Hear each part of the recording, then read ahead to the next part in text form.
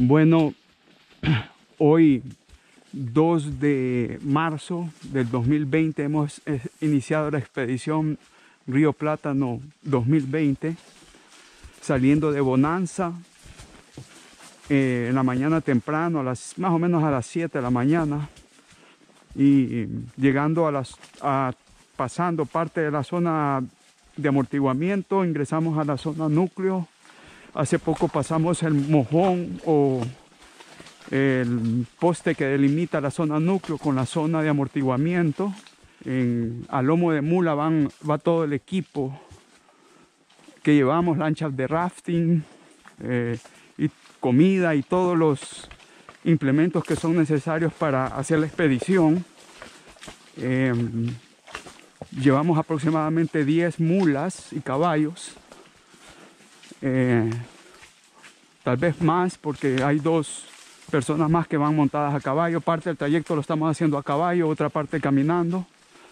Eh, el tramo son aproximadamente unas 8 horas normalmente que se puede alargar o acortar dependiendo de, la, eh, de las personas, si tienen buena condición física y pueden caminar con rapidez. Ya a esta altura, eh, que ya no hay ganadería, solo es el bosque primario, se puede apreciar eh, mucho el sonido del bosque, de las aves, aunque no es fácil verlas, uh, eh, debido a que ellas se mimetiza muy bien en, en, el bosque, hay muchos animales también, pero no se pueden ver.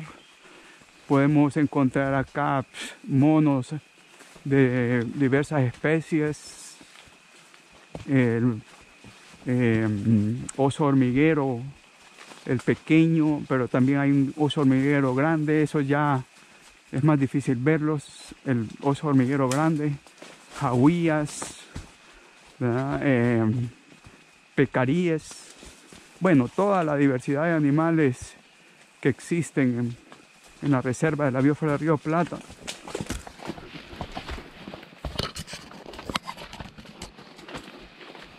Eh, todo este tramo es un tramo poco pesado.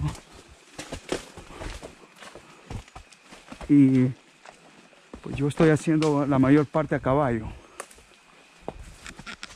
Árboles de gran tamaño y de todo tipo, maderas preciosas. Aquí por donde a la izquierda, esta área es una área plana, pasamos una área muy quebrada y muy difícil de transitar porque había lodo, acá, estuvo lloviendo ayer y antier y aquí un tramo, una parte donde el caballo tiene que hacer un esfuerzo ahí va una ave, no sé qué ave es esa. Eh, no se pueden ver todas las aves, aquí hay bastantes animales pero ellos se esconden en la maleza, eh, hay son ariscos, se sabe que hay bastante cacería eso los hace en menor cantidad y más ariscos, pero hay bastantes.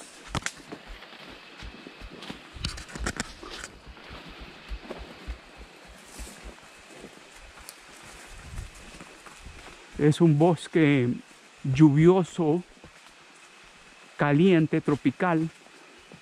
Llueve mucho. El bosque es potencial productor de agua eh, en forma de, vapor, por eso es el que se forman mucho las nubes y son bosques que se ven bastante nublados, principalmente en las mañanas porque hay liberación de vapor de agua.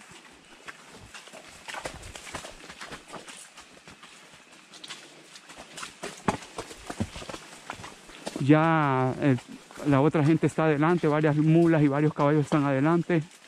Yo me quedé atrás un poco descansando y arreglando algunas cosas. Vengo con dos de los guías. A ver si se ven ahí.